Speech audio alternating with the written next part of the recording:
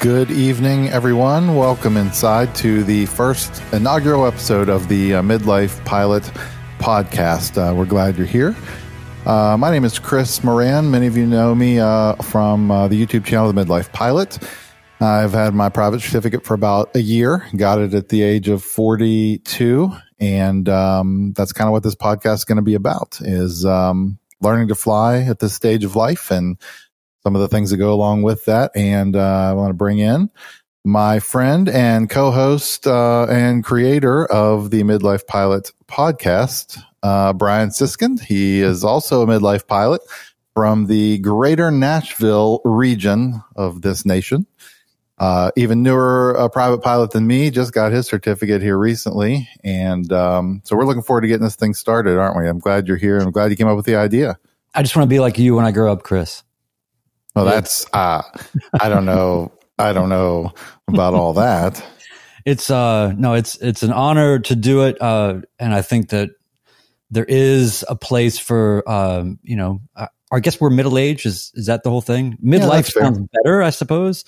Um, middle aged, uh, like fine wine, but um, but yeah. So I I did it. Uh, started when I was forty eight, finished when I was forty nine. My birthday happened in the midst of it, but um, yeah, man, it's it's it's uh I think there's a lot of people that are uh, in the same kind of spot as we are, and that's who we like to sort of commune with.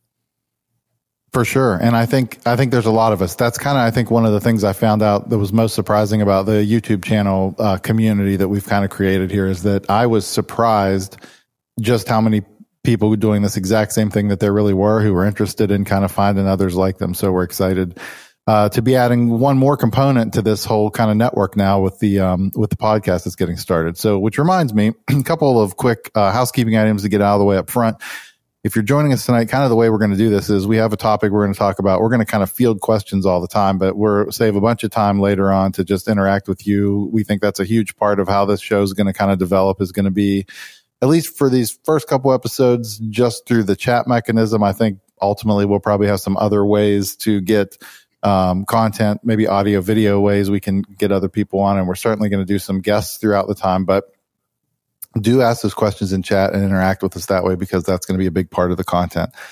Um, you can also use, uh, it won't be an issue maybe tonight, depending on how busy things get. We also certainly welcome you to use the super chat feature if that's something you're interested in. Uh, kind of guarantees your question is going to get uh, brought up, but also helps support the channel and the podcast and pay for some of the expenses too. You can do that if you want. If not, don't do it. Totally fine. Um, the other thing to mention, uh, we talked about it just very briefly when we were inadvertently having a pre-show tonight, which was completely by accident, um, is that this podcast is going to be available just like any other podcast that you subscribe to uh, everywhere effectively. Um, we'll kind of announce social media and in other places when this first episode uh, gets published and pushed out so that you can go search for it but it'll be everywhere you normally could get podcasts now. So you'll be able to go find it, subscribe to it, um, and do that. Is all that accurate? Would you say? Yeah, I mean, we can be your your friends on your commute. You know, uh, just uh, or whatever. I mean, I, I, th- I like the idea of the time that we're kind of working to. You know, it's not like the endless podcast that could could go on for three hours. We try to keep it pretty tight to an hour, and and uh, that's healthy enough to really bring in a lot of other people's questions, but at the same time to dig into things a little bit more meaningfully. Because I mean, I think that we spend a lot of time. Uh, you know, obviously pilots love to talk, but I mean, at the same time, people have a lot of questions. People have a lot of uh, curiosities about um, how to go about it. You know, we want to be instructive on some level, but maybe only in the things that we're uniquely qualified to talk about, which I think is more about coming at it from this position in life, and then also um, uh, we both are media film uh, type of uh, producers, and so I think that um, that's where I think we'll be able to really uh, speak with some sort of authority. But obviously, all disclaimers: we're not uh, experts in anything other than being middle aged, or I'm sorry, mid- midlife, and uh, and doing the best we can. But I think that there's I think we kind of talked about it a little bit last week on your live chat, but basically, I think there's there's a lot of experts out there and that's great go find those people and there's a lot of great resources um, but i think there's perhaps a little bit of an opportunity for us in terms of community um, to kind of stitch together people that are kind of coming at it from the same place you know we're not looking for uh, an atp career um, you know, or anything like that. So where do we derive meaning out of this? Why are we putting so much energy into this uh, at this stage? You know, uh, you know, we could be, you know, whatever, building retirement homes with this money or whatever uh, that we're putting into the, our addictions. But um, but I think everybody's got a passion for it, and that's what's cool. So anyway, I'm, I'm looking forward to just hearing people's questions and and uh, talking about whatever their challenges are and and coming at it from the unique perspective that we're in. Obviously, we're open to those that are not midlife, but um, uh, currently alive also qualifies. for sure, for sure. Let's jump into it then. So we are going to kind of have a topic um, each week that we're going to kind of lead with and want to cover some uh, ground on. And tonight we thought it'd be interesting. Speaking of things that we're uniquely qualified to talk about, I think, which is um, kind of the production aspect, uh, ha- making videos and other content while uh, training or while flying. Like, w- what goes into that? How do we do it? Um, how do we do it safely? Um, what are the some of the tools we use? Um, just kind of an overview and answer. It is shocking, Brian, how how many comments and questions I get about what's your setup, how are you filming these, what cameras are you using, how do you mount them, how do you how do you get your audio? That's one of the uh, probably every video there's a handful of co- people that want to know about those things. So I think it's going to be an interesting, uh, kind of an interesting topic. And I, we both have similar workflows, I think, but also different. Um, and so we're going to show just some sample clips here in a little bit and kind of talk through some of the facets. But I think the first thing I've now gone off script already. If you haven't noticed, I have not looked at the Google Doc, so I may have No, like lost the. Lo- we may have diverged already from the. um, I think processes for filming safely. I think is a is a, the question. Uh, I was pretty interested in that from the very beginning. Um, like that was a big deal to me. Like not letting it be a distraction, and it's led to there have been some unintended consequences um, in terms of the filming production quality. So maybe we'll talk about that first. I'll just talk through my workflow, and then maybe you can hit me with yours. I don't know that we've talked in depth about this, you and I. Um, I tried to once I set up in the airplane, like for filming, I forget about it. So by that, I just mean like even before my pre-flight. So the first thing I do when I get to the hangar, even before I pre-flight the plane, typically is put, I put all my cameras up, power them, hook them up, check them out, make sure everything's good. All the audio is good and everything's there. And then I shut them all the cameras off again. But that's before I even pre-flight or do anything. So it's kind of segregated in these little, it's got its own time and place. And so then I'll do my normal pre-flight routine, whatever else, pull the plane out. Although sometimes I'll start the exterior camera before I pull it out to use that shot of it kind of, you know, rolling out of the hangar or whatever. But then when I get in the plane to get ready to go, turn all the cameras on, start them recording, make sure they're recording, turn the audio recorder on, start it. Um, the only other time I think about them again is when after we started up the audio panels on, I look at my audio recorder to make sure I've got levels from the intercom. And then I don't think about the cameras again until we've landed and taxied off the runway and we're back. So the, the consequence of that is not checking them in the air. I've led to like flights where I get back and I don't have footage from one or more of cameras because something's happened or something went awry and or the audio messed up and I don't have audio. So, um, but I think it's a good trade off. Um, I think maybe down the road, you know, I think, I don't think there's anything wrong with glancing at a camera over your head, you know, making sure that the count timer's still running or whatever. Like I, I think you can do some of that stuff safely, but that's been my approach, which has just been, they've got their, you spend your time and energy on them before you start them and then you don't think about them again. Yeah, I think I think um, what I see a lot is people getting into their training and then having a point where all of a sudden they flip a switch and realize that they want to start recording their flights, and so maybe they're uh, coming up on their first solo uh, or something more momentous. That's the kind of thing that makes me a little uh, apprehensive when I hear about stories like that.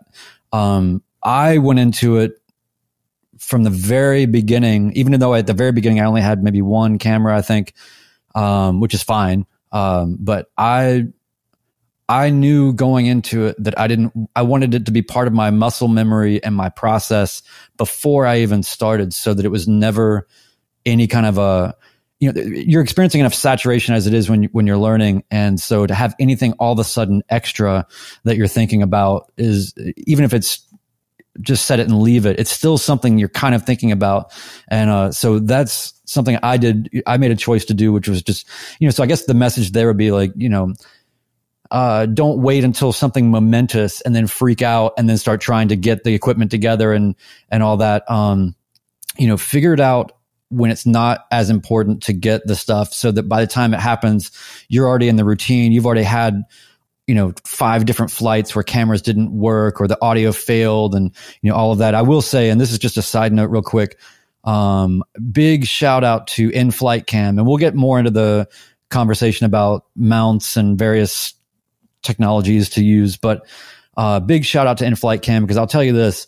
Uh, even though I am an experienced videographer and I'd started from the very beginning recording all of my uh, lessons, what happened was I had switched planes a couple lessons before my what I was thinking my solo would be. And all of a sudden I just couldn't get audio to work in this particular plane at all every time I flew it. And I, and it was sort of like, it was coming up it was coming up. And it was the day before what I believed was going to be my solo. Um, I actually texted with the guy, I can't remember his name, who's the main in flight cam guy, ended up calling me. And he basically said, uh, your audio cable, you know, if you've tried it on the left side, you've tried it on the right side, none of these things are working. He said, try it in the back seat, try it in one of the rear seats. Um, and the morning that happened to be my first solo, I, I plugged it into the back seat, just hoped and prayed that it would work. And sure enough, it worked. So I would not have had audio from my first solo, even with all my experience leading up to that, had it not been for InFlight Cam, a company that sells this stuff, like actually calling me on the phone and, and made a memory for me possible that I would have not been able to capture. So big shout out to them. That's very cool. Yeah, I've uh, I've worked with them as well on a couple of smaller projects, and we should also disclaim that we uh, nobody's sponsoring. I mean, the stuff we're going to talk about tonight, all these products, we're not getting. There's no endorsement or anything, but um, I did w- briefly have a, a, a, conversation with them. InFlight Cam did give me a um, one of their in-flight mics uh, that goes on a, a, pair of noise canceling headphones like the Bose. You've seen uh, Cecilia in a lot of our videos wearing those that um, that mic. Um, they make a ton of great stuff. I have a bunch of their. I've got other stuff of theirs too, mounts and other um, other accessory products, which we'll talk about here in a little bit. But yeah, there's all kind of tools that um, that can go into that. So maybe we should talk about the setup itself, do you think? Um, so we yeah. can kind of talk. I, we have slightly different approaches. I think you use more cameras maybe than I do normally. Um, I did at one point, and then I've scaled that back over the time just for sake of post production. But um, so my setup's pretty easy, and there's actually there's a Patreon video for patrons of the channel um, on my Patreon that I did of the setup uh, for that, and so Actually, I, had, I, have a quick, uh, I have a quick setup question for you. I'm sorry. Yeah, go ahead. Yeah, go for um, it. Because I want to hear this for sure. But uh, my question to you would be, um, you're unique in the sense that you filmed to to document your training, but at the same time, you were really developing an actual channel that you were, you know, openly inviting people into, as opposed to just kind of me, where I'm a little bit more passively just kind of posting whatever. It's just kind of there. I'm not necessarily talking to the camera or you know things like that. So it, when you describe this setup and how it's evolved, I'm curious about how it also evolved with your with your increasingly outward focus, uh, inviting people in. Yeah, that's a good that's a good point. I mean, I think camera angles matter, and if so, if you're going to have limited resources, like so, I use right now my current setup. I either use four, three, three to five cameras, depending on the complexity of the, and that's for like the actual on the airplane or in the airplane, um, filming. And then we have just a DSLR, like a Canon EOS R camera that we shoot a lot. Like if you ever see the stand ups or like the B roll, the footage from around the airport or like when we went on our trip, we'll show some clips of this in a minute. Um, we can kind of talk through some of that. And in fact, we'll play a video after I just briefly describe the setup. So three or four cameras, always 100% of the time, the main overhead camera that hangs from above that looks forward, that can see the panel and uh, like the back of our heads and out the windscreen in my case, that's a um, that is a GoPro eight um, that is plugged into a battery a battery brick, a USB battery brick in the back seat of the airplane. So I run a USB cable around and plug it in for power, and it's got power in the back. Um, then also the number two. So if you only have one camera, I think that's the camera. If you're recording for training or for anything else, I think that's the one you want. You can see your instruments, you can see out the windscreen, and you would probably use some form of audio adapter, like Brian said, like in-flight cams audio adapter or something to plug in to get intercom audio into that camera. The number two camera for me didn't wasn't always like this. You talk about the evolving with the channel. Used to be an outside camera or some other view of the airplane. Um, since the channel start, the number two cam, if I only have two, I'm using the one that's in the front facing the facing me and whoever else in the plane. Because I can I could do a whole video with just those two if I had to. Um, in my case, that's a GoPro 7 on a suction mount on the windscreen. Also, in our planes, plugged into a USB port on the panel for power. So what you're going to find is all the cameras I use inside are powered. Didn't used to be, but I lost so much footage from dead batteries that I've I don't mess with that anymore. okay, so that's my number two. It's a GoPro 7 on a suction cup looking back. Then, uh, if my third camera will be an outside angle, so that's a GoPro 7. Um, using mounts from InFlight Cam, they make all different airplane mounts. You can mount some on uh, in the Cherokee. Now we have one that's uh, our A and P installed for us. It's on the wingtip. It's in a screw, you know, where the wingtip attaches out on the edge of the wing. You can use a um, a strut mount, which if you've seen any of the shots, which will show um, under the wings of the Cessna or on the tail of the um, Cherokee. Um, that's a GoPro 7. It has a um, refuel. We'll put links to all this stuff in the show notes and the description too. Yeah, there's a good. That's like a uh, that's like a strut mount. I think is that in-flight cams or is that somebody else? Yeah. Yep. So that's a good looking strut mount with a GoPro on it. I didn't bring my show and tell. Um, and I use a battery pack on it from Refuel, and it's super cool. We'll show you that the link to that website here shortly uh, to keep extra power going out there. And then any of the others are just accessories. You might stick a suction cup on a window looking out the other side that your exterior camera's not like the other direction that your exterior camera's not looking. So you can see everything to the right of the plane, to the left plane, or whatever you want to do there. Um, and then for audio, this is where I veered off a little bit from the norm. I don't record audio on a GoPro. I have a separate, uh, audio recorder that sits in the back seat and it's it's a four channel audio recorder. So it, i use a headphone jack from the back seat with an inline uh, attenuation pad inline just to help bring the signal level down from head fed, fed, doesn't solve all the problems. We get real technical like it's a different impedance but that's all fine. Um, and plugged into a quarter inch input of that. So i record the intercom audio on one channel but that recorder also has a stereo microphone built into it. I record that as well just to get the ambient noise in the cabin, the engine, the noise. And I mix, I t- timeline all that and mix it again later in post. So that's where my audio uh, veers off. Downside, since there's no central clock like keeping all of these things in sync, my audio does tend to drift over long flights. Um, so I'm continuously like every 20 minutes or so, the audio, I've got to chop and move it like five frames of video one way or another just to help keep it in line. I've just learned what that looks like and it's pretty quick for me now, but it used to really kind of vex me. That's basically my that's basically my setup. That's a lot. you want to run through? I mean, I'm gonna play video and look at it. Yeah. I can talk over a couple things of it here real quick.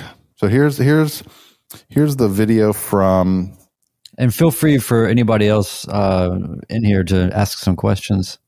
Yeah, we'll answer some questions about this too. So here's the video. So all this stuff that you're seeing here, this stand up stuff is shot on a DSLR Canon EOS R um, camera that we just kind of carry around. So here's the overhead. This is a GoPro 8. Here's a 7 uh, with an in-flight cam uh, wing mount. So that's sitting out on the strut there.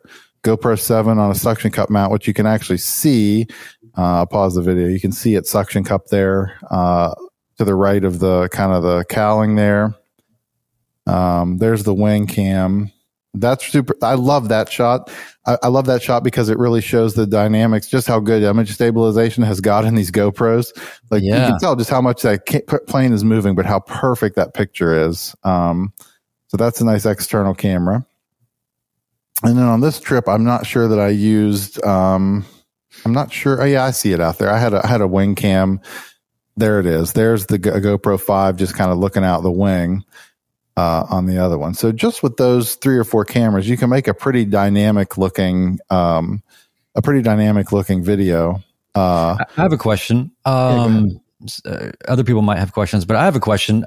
Do you um, adjust for highlights so that the window, the the view out the window is not blown out because you have a pretty equal exposure of inside the plane as well yes. as sort of the, the view outside the plane. And I see a lot of video that people make where they don't account for that. And to me, that that's like one of the simplest things you can learn to do to greatly improve. Uh, if you have one camera and that's the one you're using, it seems like, but it looks like you're doing a really good job of correcting that.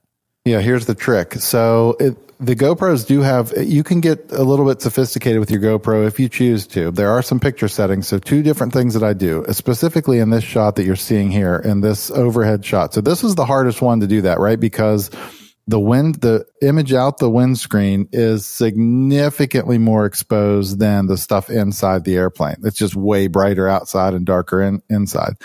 So two things I do. One is you can adjust the exposure value, EV. It's a, it's, um, abbreviated in your camera. So I always bring it down for fear of not blowing out highlights. So it's down like minus 0.5 or minus one.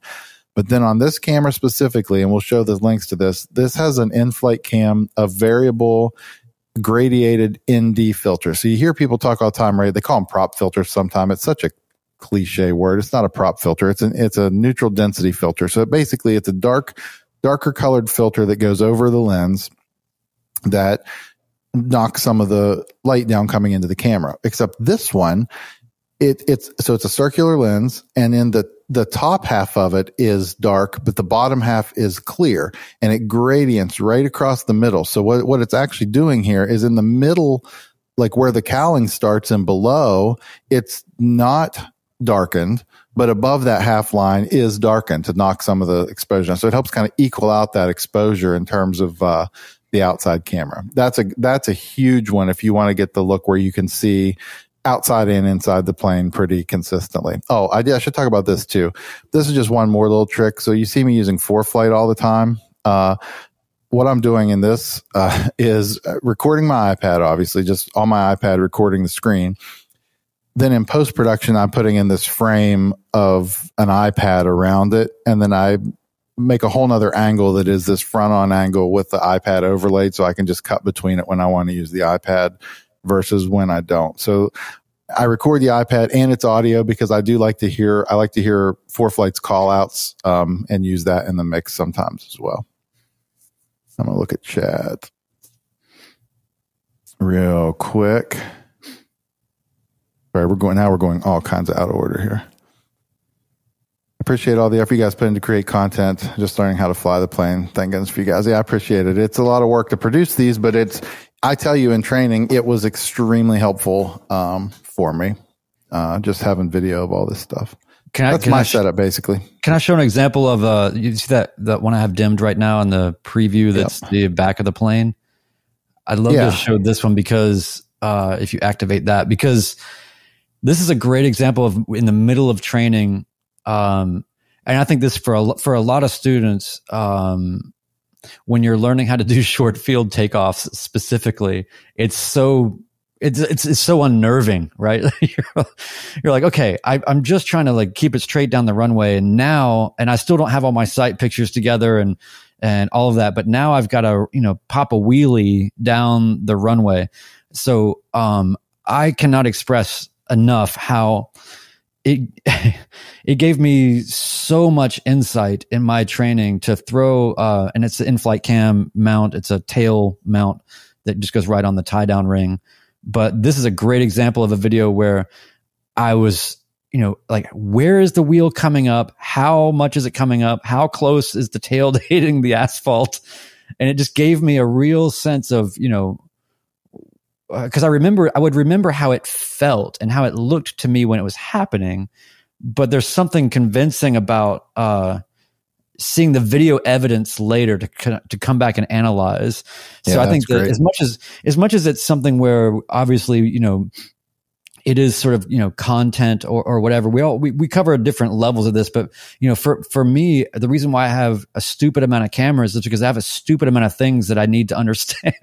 You know in training i was like i want to see what i'm doing. I want to see what the you know i have also i very often get a shot of uh let's see the other one i get uh, for landings to go between the the this tail view which you see a lot of people have but then uh where is the other angle it's the uh maybe i didn't even use it on this one. Oh yeah here it is and then this angle so uh between between looking straight back and then be, being able to you know show this kind of uh almost all the wheels I was able to get a sense of when I'm watching this, I I, am looking at, I can see the rudder. I can see my rudder inputs.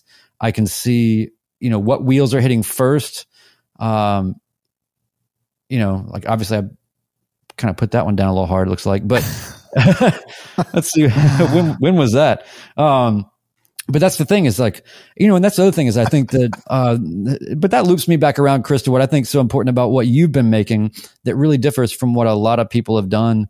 Uh, and it really inspired me to do the same thing, which is it's warts and all, man. There's no pride here. Like we're all learning. Everybody is suffering through it. And it's really, you know, especially in the age of idealized vanity culture and Instagram and nothing's real and, you know, whatever. It's so refreshing to have just these verite, actual representations of somebody just kind of pat, battling through it. And so that's what uh, inspired me to kind of do the same thing. And, you know, obviously I don't have a huge following or a huge channel or anything, but, but I have received a lot of feedback from people that it, where it's been helpful to them. And, and that's really all it's about. So I feel like as much as it's nice to be an authority and be like, well, let me tell you exactly how to do a short field takeoff and what you need to do is this. Right. And, you know, it's, I think even more powerful sometimes just to, there's a million experts, but there's a lot of like, let's show the failures and the, the struggle. Um, and it means that much more when you get it. Well, I don't know where, I don't know where my channel would have been without the failures truthfully. I mean, and some of that early and some of that early, I mean, the theme it felt like there for a while was just like no confidence or like I just, yeah. you know, things were went south and, and I did like showing that because I think, I think it is easy to fall into the trap that, um, you just see a lot of super pilots sometimes on YouTube, you know, where like you don't get to see all In fact, I'm gonna tell a story. I haven't told many people this yet, but um, I I wish I had been recording when we got back from this trip. I mean, in fact, part two is going to come out not this weekend, but the following of this trip. When we when we got back from this trip uh, to the Greenbrier or to the uh, to Lewisburg and to the uh, Hot Springs area, I got fuel. We landed at Fairmont, got fuel, and then um, I taxied the plane back. I turned all the cameras off the fuel pumps, taxied back to put it in the hangar. And I'm another guy, pilot I know on the ground was talking to me on radio and while we were chatting and like goofing, you know, like talking about non-important things. I noticed my iPad's still recording. So I'm like, I got my, so I'm taxing between my two rows, the two rows of hangars, got my head down. I'm looking like this. I'm messing with my iPad, talking to this guy on the radio. And, um, I feel and hear the left wingtip scraping the hangar to the left. Mm. And, um, you know, so I, you know, I stop immediately, obviously, and like, so I'm freaked out. I thought, well, this is great. I've just like, I've just like messed the plane up royally and whatever. It ended up being not a big deal, like a nav light and a little bit of sanding and painting. I mean, it was not, there was nothing structural. I scraped a piece of sheet metal basically, but you know, I wished I had been recording. In fact, we, I talked to my wife about that after I said, you know, these are the, I would have, I would have posted that in about two seconds and said, this is why they tell you. They say, you know, I say like, don't do anything else while you're taxiing. Don't get the weather. Don't screw around on your iPad. Don't you, you got to drive, you got to pilot that airplane until the engine shut down. And, uh, I didn't. I just ran the wing into a hangar. I could have been a person. I mean, I could have ran the plane into, you know what I mean? Um, it just was really kind of shocking to me that like the, I could do that, but I did. Anyway, the point is I would have showed it if I had been recording, but I wasn't. Well, a, a specific example too of um, a, a, an issue that you had that I also had um, is I remember in one of your earlier stages of training videos, you had, and I'm not sure if you actually filmed it or it was just you referencing it later, but it was basically you had left the flaps uh, in and were looking to oh, take off. that was legendary. Hold on. I'll, you go ahead and talk about it. I'll show it. It was, that was a legendary. I cannot tell you how much I identified with that because, and I don't know, maybe you planted it in my mind subconsciously because I did the exact same thing. And let me tell you, uh, there are two moments in my training where I was scared to the point of kind of such fear that it was actually kind of paralysis. And that's kind of what scared me the most about it is that, you know, my, if, if my instructor wasn't there, like I would have been in trouble um, at that stage in my training. And uh, when you talked about leaving the flaps in and then doing that thing where I, was it Tyler called it? It was like wheelbarrowing oh, he, or something. Yeah, like wheelbarrowing um, across the runway. Oh yeah, yeah. It, was, it freaked and, me out pretty good too. I thought that I was. I thought we were done. I thought I was going off this runway. And so anyway, I it. I had that experience. I have video of that experience and I have yours to sort of correlate that experience. And let me tell you how many times I have forgotten to put the flaps back up since. Never. Yep. Uh, and so I think it really does, you know, cement these things uh, when when you have a document of that and somebody to reference. Oh God, uh, that was so scary. I got to show it. I, I, think I found it here, and uh, this is now we're getting a little off, a little off track, but that's what we're here to do. Yeah, exactly. So let me see if this is indeed the moment that I think it is. That doesn't work, does it? Cannot full screen. That's bummer.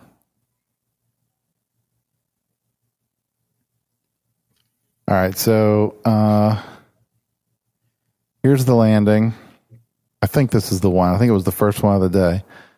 I put carb heat in and I started. Oh to, yeah, there you I go. started to put power again. uh, must not have been that one because Tyler has not taken over, or did he? Oh yeah, here we oh, go. Oh yeah. Oh yeah. See, we're flying. Yeah, that that really it seems minor to look at now. Now he's laughing at me. Uh, you got to put the flaps up, he said. I probably had, uh, let's see, I had seven hours at that point, right? Mm. So, um, those are the kind of moments though, man. You're right. I didn't forget it. I didn't forget that feeling ever. Uh, that was exciting. And m- memorializing that in video in such a way where you, you, you stamp it to yourself and put it on the internet, you know, it's like, the even more uh, inspiration to not forget something. So yeah, between that and the only other moment I had I don't know if you had a moment like this, but I was in check ride prep and I'd never had a problem doing stalls before. Um, but for whatever reason, I think it was maybe a lot of wind and I don't know. My instructor said more right rudder and boy, I really gave him a lot of right rudder and we were in a power on stall and got a nice wing over and sort of incipient stage. Uh, and that was the other time where I was so scared because it was just, uh, when things happen that you don't expect that are that dramatic, it's just, especially when you're later on in the training where you, you feel like you've kind of seen some things, you know, so that's another one where it's like, I'm going to memorialize this. Uh, I mean, it was his controls and then me just fighting mentally the rest of that flight to just try to put one foot in front of the other. But in retrospect, what an incredible perfect preparation for the check ride that that was. That is exactly what I needed to have happen. If it, if something like that happens on a check ride, if it's, you know, that's bad, but it's also about how you put it together after. And I think that a lot of the mental struggle of fortitude and having a short memory is a strange balance in, in learning how to fly. And, and so for me, just being like, you know what, I'm making peace with myself. I'm edit. There's something about editing the video and putting it together and releasing it that actually is sort of like an existential process to me. It's like I've processed this. I've I've reconciled with this with myself. I'm pushing it out into the ether, and I don't ha- I don't have to watch it again. But I've I've I've been through it. You know, so. Right. That's kind of maybe a little bit more metaphysical benefit to this, but uh, but yeah, it looks like we got some some uh some feedback in here. Yeah, Kevin. Uh, Kevin asked, "What software do you use to bring all this footage together?" I believe you use a Mac. Well, he knows he knows me well. I'm a fanboy from way back. Uh, but what do you suggest? Ah, this is for a, me, isn't it? For a PC, I'm going to just hand this one off to Brian. Brian, what do you suggest for a PC? Hey, so look, you know, when you when you need a real computer that has real power uh, that doesn't cost, you know, like the price of a Aston Martin, No, um, so for PC, and it's actually available for Mac or PC, but I, I use DaVinci Resolve. Um, I do have the paid version of it, but it's um, not even very expensive. But the free version is incredibly powerful and not very limited. For most people, it will do just fine. Um, and the other thing I like about DaVinci Resolve is it's actually, in my opinion, the premier sort of color grading uh, platform as well. But the editing is incredible. The audio suite's incredible. I would highly recommend uh, DaVinci Resolve. The thing about the because I'm also sort of anti Adobe at this point because I, I'm just done with monthly subscriptions for everything. Like you know, it's like now it used to be you could buy the software and then like okay, I'm done with it. I have it. And then I'm on an upgrade path, and thank you very much. And that's what DaVinci Resolve does. These people that are charging these you know, like over the last eight years or whatever that I'm using Adobe products, what, how many, how much money have I given them for all this software now. It's like, you know, uh, so we could, you know, we can differ about it. We can, yeah, arm wrestle. I, yeah. I have a different take on it, but, but, but yeah, but DaVinci Resolve is the here, PC right? solution, but yeah.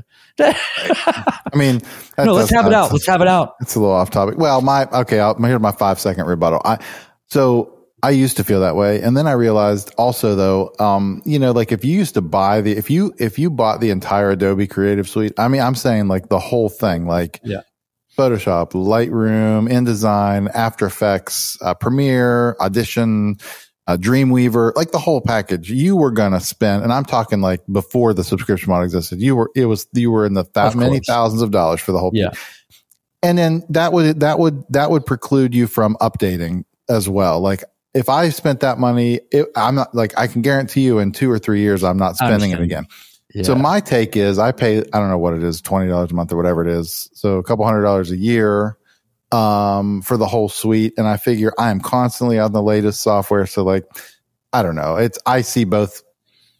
I, I know there's some, another one of my friends who's in here is also anti-subscription model, but, um, anyway, yeah, it's, it, okay.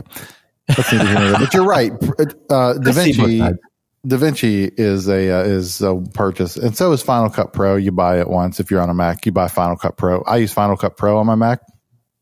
You buy it once, and then you have it as well. It's not a subscription. But I do like that the for DaVinci Resolve though. Just to be very clear, the free version is really all that 95 percent of people really ever need, and it is profound. It is fantastic.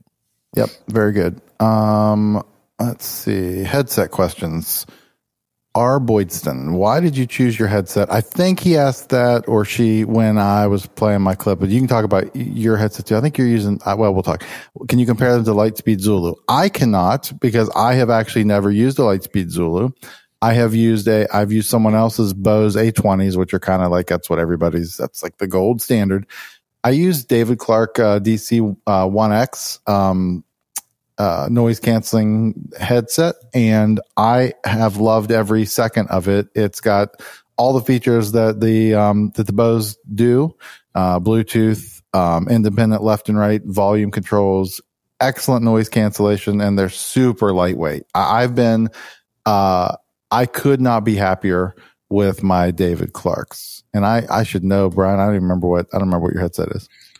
I have like whatever the regular David Clark, no noise, old like school. Just like you can hear you your look engine. up headset in the dictionary or whatever, like whatever the picture is of that. That's that's what I have. And my logic was really um, pretty simple, which is I don't know, especially when you're coming up through training, you don't know what's what's best, and you really shouldn't be that concerned with with that. Really, I think at that point, and I also was not wanting to use noise reduction anything because I I'm a very you know uh, audio sound uh, aware person and I wanted to hear everything. I want to hear the engine. I want to hear the air over the plane and how it changes. I wanted to hear everything. I, I was not, I don't, I don't, it's not like it's so loud with those non noise reduction that it's, you know, like my ears are sore after or something. It's fine. Right. And I'm not flying, you know, nine hour flights or whatever. So to me, if I was ever going to recommend anything to anybody, I would say save your money, get the most out of whatever you can get out of the cheapest headset and then uh, you know and then you can always upgrade and then you'll give that to your significant other or your friend and that'll be your loaner set or or, or whatever but uh, i use the just the regular david clarks uh, Billy Hopkins, do flight schools use cameras to show the students? That seems like valuable information. Some do. Uh, I don't think yours did, Brian, and I don't know here that it's part of a routine, but I have seen I've talked to other people online in various forums like this that their school d- does use video. Maybe not for every lesson, but there are specific um, contexts where they use them. It is extremely useful. Uh, it was super helpful to me, I know, and I'm sure there are people who use that. Um, uh, Indiana says, I agree. Please don't ever edit out the real world aviating. The more real, the better. That's when we're talking about showing the mistakes. I agree with that as well. Uh, let's see what else we've got. Kevin. It's, it's, hard. It's hard, Chris, to, to share right when you're early on and you're looking back at it and you're like, like another thing I really identified with was when you were doing your first, uh, you were doing your first night landings, and I had the exact same experience where it's almost like a carbon copy. You could play my video next to yours, and it would almost be the same. It's me telling, asking my, we're on final, and I'm, you know, checking my instructor, like, are you, are you with me? You're, are you on this? You're like, are you know, I mean? like, like, okay, this is super weird, you know, so weird. And so anyway, just, of course, keep it, you know, all real world aviating. But I mean, I think it's even further about just sort of a vulnerability that just, you know, you're, you're not, it's not, a, you can film everything that's real, but it's also about how you're interacting with what's happening and just being transparent about how you're feeling, you know, which is huge. What, um, in terms of your setup, uh, for cameras and audio. So you mentioned uh, maybe even in the pre-show. I don't think you said your audio configuration in that story, or did you? Was it in this or the pre-show? And then, um, what cameras are you using? Oh yeah, uh, on your videos and. So I have uh, this standard GoPro and a Hero 8 for the cockpit view. Nothing fancy there, just sticks right to the side there and then I have a couple of these uh, Hero 8s with the in flight cam uh, strap mount. These things are made so well, and these straps are unbelievable. They look maybe chintzy, but they are, I mean, the, the sturdiness of these is pretty incredible. Um, then I have. Uh, I have another one that I use for the cockpit view sometimes. Uh, that's just another in-flight cam that's got a uh, bendy arm. I like this one because it has one point of loosening and tightening that'll allow you to do all of the bendiness. Uh, yeah, that's like that's like a magic arm. We use it in the TV yeah. business all the time. It's magic yeah, that's really cool. Yep. And then I got the filter that goes over because this is the one that if I do overhead, it'll be the one that you know makes the propeller be smooth. Um, I've had a lot of trouble. Um, the plane that I like and fly most often the the the hoodliner or whatever you want to call it is not really um, hmm, structurally sound. It kind of flops down, and so I can't really hang this dead center over the middle and get that shot. I just can't. And I and since it's a you know rental or whatever, I can't just glue you know a a mount up you know adhere a mount up there. So I've had that. That's you know, and I think that's important. I mentioned too is that just because other people are doing it doesn't mean you're going to be able to. You might have to just deal with different types of shots or different types of things. Just get the most out of it that you can. I, I try to just lean it over to where I can at least see some of the gauges. You know, it's nice to have that really nice center line kind of rear view, but um, but I don't have that. Um, That's right. And then um, uh, and then the probably the most important thing is uh this cable, which is the in-flight cam cable. So, uh, there it is. Yeah. yeah. So if people, I don't know if people have seen that. Um, so here, here's, here's the magic of that. Those cables will let you, if you have an airplane, a lot of people have airplanes with only two, uh, position intercoms. I've just been lucky that all the planes I've flown have four positions. So there's back seat jacks. So I have spare jacks in the back to use for my recording. It, the nice thing about that in-flight uh, cable there is that it is a Y splitter, so you can plug one of them into the headphone jack at your position and then plug your headset, one of the two connectors, your headset into the Y side of that. So in addition to going to the camera, uh, it also powers your headset. So um, those work yeah, really good, good. Yep. Those yeah. work really well for that. And so Let I use all, all Hero 8s. I just, I, you know, when I got all the stuff that I could have gone Hero 9 or now you can get the 10, I guess. But I just thought uh, I got all refurbished ones uh, for the cheapest possible outcome. Let me show. Um, let me not show that. Let me show um, InFlight Cam's website real quick. Um, and I bring it up just because there are so many products from here that we've been talking about here. Um, this exterior ball mount, I don't know if you can, I don't know how well this is showing up on the stream. This is oh, yeah. what I use for that over wing shot that we just saw in the um, Cherokee. This literally, an AMP needs to do it or sign off on it. Um, this goes in a screw around the uh, wing tip uh, where the wing, the the kind of the um, fiberglass or the composite material wing tip uh, is, atta- is attached. Um, and then it has these little bolts. You can adjust the angle of that, and that is super cool. Uh, that's what I use for the outside. Here's the strut mount that uh, Brian was talking about that mounts to the strut of a of a of a Cessna, for instance. You can see it in action here. It is attached to the strut there for some really cool exterior shots. Um, I'm looking for the case that they make that I have on my. Oh yeah, here we go. Check this out. They make these big metal cages. Um, uh, these are just like big extra support cages for GoPros. Um, extra secure and tight. Um, if you're going to use them outside, you know, places that you need a little extra rigidity, you can do that. Um, and those are super cool. And then there's another place called Flight Flix, F L I G H T F L I X dot net they have a, another very nice selection of um, camera accessories as well for their stuff, um, including prop filters, safe cases. This is actually the one that I have um, for my interior camera. It's from FlightFlix, and they make this. I'll show you that gradient ND filter. So basically, it looks like this. Um,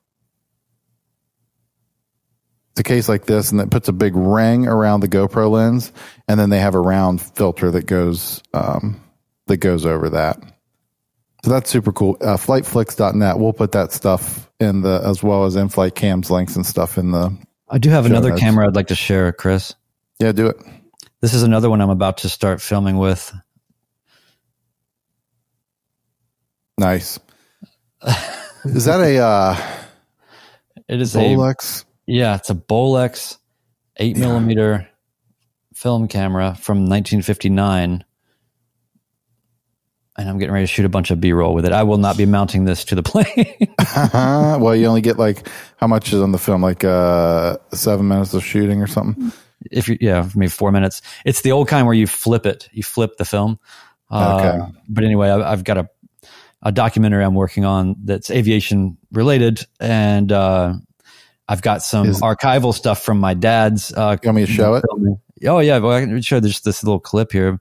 Oh, I've got some way cool stuff that my dad uh, shot from a you know C one thirty or C one twenty three, um, and so I'm just excited about in this documentary that I'm making. I want to marry up. I want to have.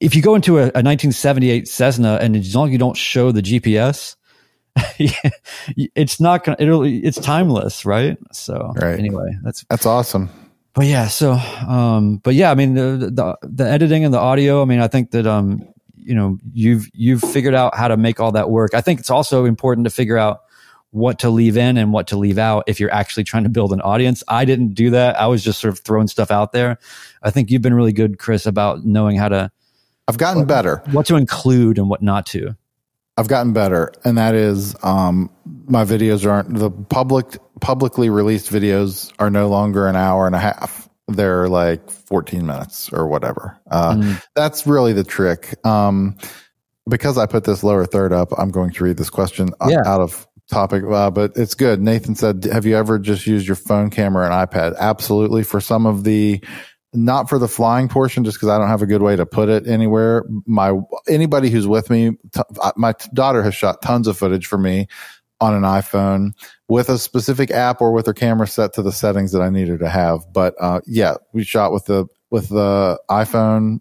I've shot stand ups when I've forgotten to take a DSLR with me. Um, but content is key. Uh, and so like this the the most recent one that was the anniversary video i think was uh i don't know 12 minutes long or something and we cut out a ton that was a pretty long flight getting there really it's the like departure a handful of stuff in the middle if we do anything while in flight the arrival and the landing. And then we, I've been trying more and more to make more stories out of these, you know, so like most of this, the cool thing about this trip was if you haven't seen it yet, it's on the YouTube channel. It's part one of the anniversary trip was there was a TBM convention going on here and there were 95 TBM airplanes on the ramp at Lewisburg when we landed.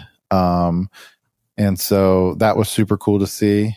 Uh, I'm also watching my landing again because I don't remember if it was worth watching again. Uh, but now we've committed, so we're just going to let it roll at this point and see what actually happens here. A little bit of right rudder. Um, oh yeah. Oh yeah. I mean, you know, on this. I mean, yeah, great. that was acceptable. Um, but but there was 95 TBMs. That's a lot of money on the field. Oh my god! It was a hundred and four million dollars. The airport manager told me worth of airplanes, and so we get down here. We I tried to turn the last few minutes of this. Um, I'm trying to tell more of the stories of where we're going. You know, make it about the flying. Here's a bunch of TBMs. That's iPhone video. This is iPhone video right here. Um, so I do blend it into my stuff a lot. And this is EOS R. Did a little time lapse. The control tower. Um, EOS R. Them putting the plane away. TBMs. So we just tell a little story. I was just gonna say I really like in this one when uh iPhone. This is all iPhone video here. When you Go roll ahead, up to the the airport and they run you around the back like you're the riffraff that, that doesn't need to be at the airport or something, you know. But then, exactly. but then you get but you get back there and then they come up to your window like it's uh you know well welcome Mister Moran how are you today you know right they were right. so they were so kind. Yeah, it was great. That was a great experience. This was a cool little airport we didn't get to actually fly into, but up near Hot Springs Hot Springs, Virginia, that area is really something. Um, that whole area. Anyway, it's a good trip. So telling more stories like that, that's kind of the thing. And also the next series that'll be coming on the channel will be, um, instrument rating. Supposed to have my first instrument lesson tomorrow, but it's, uh, weather's not going to cooperate for that. Oh, the irony. Yeah, right. Yeah, yeah, yeah. Not looking super promising. I have a question about instrument rating, uh, turning that corner. Um, so I'm assuming you have not built all the cross country time that is needed for it, right? I am very close. Oh, okay. Um, it's not that much. Uh, okay. I guess I'm just wondering. It's it's like if you have that much time to to, to burn to get to that, uh, is it really worth trying to turn the corner right then, or is it going to be better to maybe I don't know get, I lied. Get your feet wet? I have. Here's what's cool. You need to have uh, it's, it's kind of surprising, really, the, the regulations.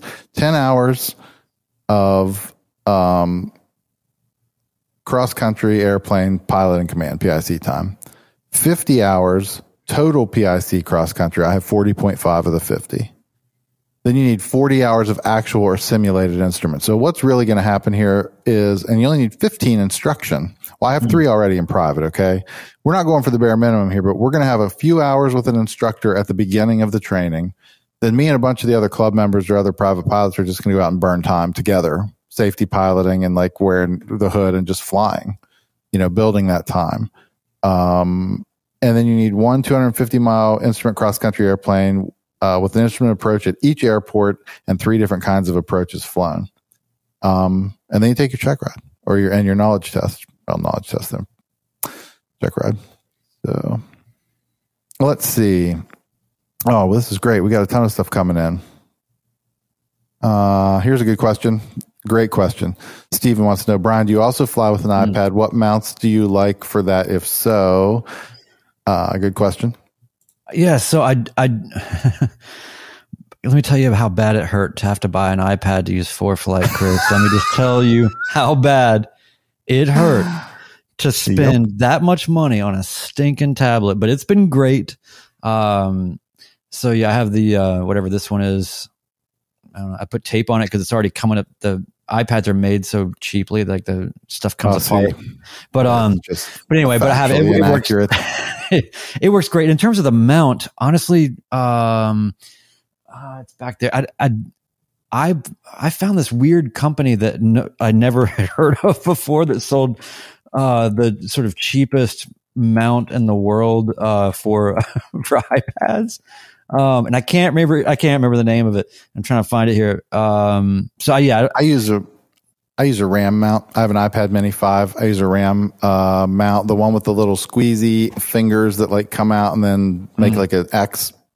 And it, I use it on the yoke and it works great in both planes, the Cessna and the Cherokee. It's perfect. And that's a mini. I think that's a mini, Brian, that you just held up. It looks Yeah, like it. yeah. That is the perfect size. People get crazy.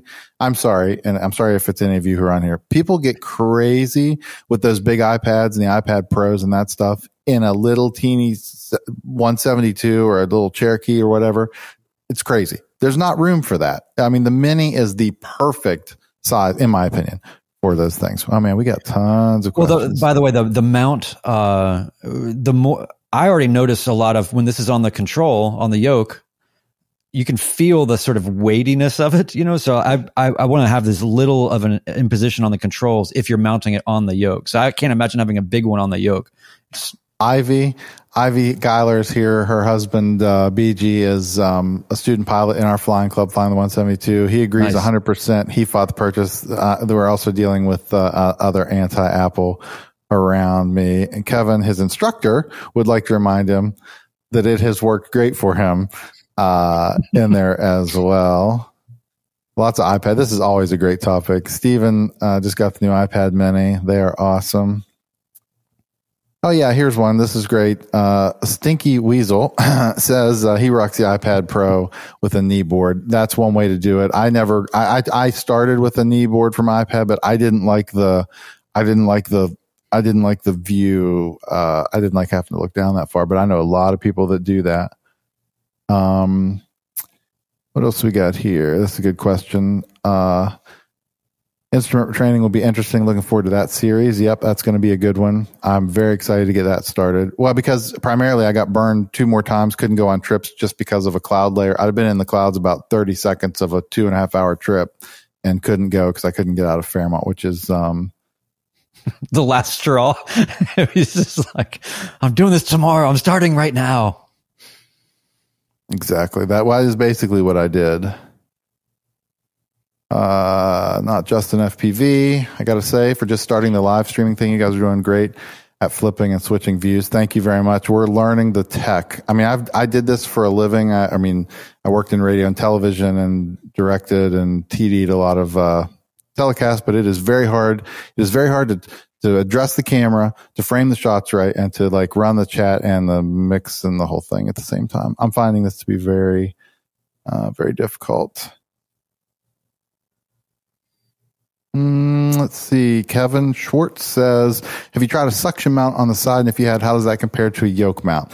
Um, I've flown. I, I've been in a plane with someone with it on the side window. It works fine. I think some people are always like, "Oh, the, um, you know, you lose your reference there out the side." I, I think it's you're probably you can see around it. Um, I think it would work fine. A mini probably. I still think anything bigger than that is too big for, um, it's too big for a little plane. Uh, student aviator tried to get a kneeboard for his iPad. They're out of stock until the end of November. Guess we'll have to settle for a yoke mount. You won't settle. It will be, it'll be quite, um, I will say the one I got, as much as it's the cheapest one ever, that I it's some weird off brand, like some fly by night company. Um, a lot of sometimes if I if I mount it beforehand and then I'm out pre-flighting the plane and I'm checking the the ailerons and it it turns the steering wheel and the thing will just go flopping right out. I'm just like, oh my god, it's not it's not the best mount. and then, Um, okay. So then you're over here like this cheap iPad, the thing's coming on, undone, but you're like, tell me you've flung it across the cabin. Like, I bought the cheapest one because I wasn't sure. I'm like these folks, right? Like I wasn't sure. I didn't want to spend a bunch of money on some crazy RAM mount thing or whatever if I wasn't even sure because I was kind of still kneeboarding it and I just wasn't even sure how I was going to use it. So I didn't want to spend a lot of money. I just tried it, but I need to get something better. So if anybody knows of a better yoke mount, let me know. Kevin Kuhn, who was my first passenger as a private pilot, uh, leaving Fairmont is a strong emotional state. It is a, uh, it's not for the weak, faint of heart, although it really isn't a terrible uh, airport to get in and out, but there, it's definitely not, uh, it's not a big place. So, How long is it? oh, it's long. It's, I mean, it's un- just under 3,000 feet, 28, depending on which way you're going based on the displaced threshold. It's like Mhm. 28 or 20, 2,800 feet, maybe. And five two Lima is 150 horsepower. 145. I, it's, you know, it's it is exciting on a hot on a hot summer day. I can tell you that. but we've hit the hour mark, um, and we said we wanted to be respectful of that for a lot of reasons. Um, any closing thoughts, Brian? Anything? Uh, I just want to shout out to thoughts? one dull geek here who said, uh, "PC guy uses DaVinci Resolve." Hated having to buy an iPad. He says, Brian, you and I must have been separated at birth. Um, the only other thing that would have really brought this home is um, that you misspelled separated and I'm a spelling nerd. So like that would that would have been like the last thing. Uh, no, but I'm just kidding. One you're mad uh, that I showed it. No, I've, I've, I've watched his videos. He makes he makes good videos, and uh, and so I appreciate him being here. And um, and uh, yeah, it is. It's a, you know, sometimes you got to play both sides to win, and that's what we're doing here. It's just you just take what what you can get. Uh, you know, I guess you can just be like a Garmin pilot guy. Is that what it is? Garmin, whatever. That is what know. it is but don't do that. But the thing that I don't want to be brand loyalist. People have their own. I, that's also not my yeah. hill to die on. But I will say that I, I've a ForeFlight has been great for me. I mean, I will say that the bummer though is since I don't have an iPhone, I don't have an automatic backup of this, and so for filing flight plans, that's where it's annoying because I have to tether and I have to do all this stuff. So if you get any satisfaction from it being harder for me, uh, because I'm still in the sort of non Apple world, then you can at least know that filing flight plans is a pain. Very cool. Well, we appreciate everybody watching. This uh, this podcast will be available. What? I just I'm I'm watching the clock, man. I'm trying to like I'm used to hard outs in media too. It's one like we don't get to just saying, sorry. Oh, one dull geek thing. sorry for the misspelling. Sorry, uh, you're you're fine. You're fine. Don't worry about it. Uh, and I appreciate everybody's great comments. Student aviator, um, you call us gentlemen. That's a stretch, but we'll we'll take it. Awesome. Thank you guys for being here. It was a great first show. Uh, we'll get more refined as we get going and um, hope to keep doing this content. Also, as always, leave comments, leave us some uh, topic suggestions. Uh, we'll have some guests coming up here in future episodes. Every, is it every Wednesday we're doing this? True. Every Wednesday night, 8 o'clock Eastern, uh, we'll be recording and then we'll get on a schedule for publishing them as well. We'll get that thing go with the audio versions as well in case you miss a video. Um, Brian, thank you. It's a pleasure. Yeah, yeah. thanks, man. Good times, and uh, and uh, we'll it'll be cool. That we have a lot to talk about, and the next next week uh, sort of topic of conversation. I think people really like. Not that we've decided fully on what it is. We just know it'll be great. It'll be great. Thanks for being here, everybody. Until next time, uh, we'll talk to you soon. So long.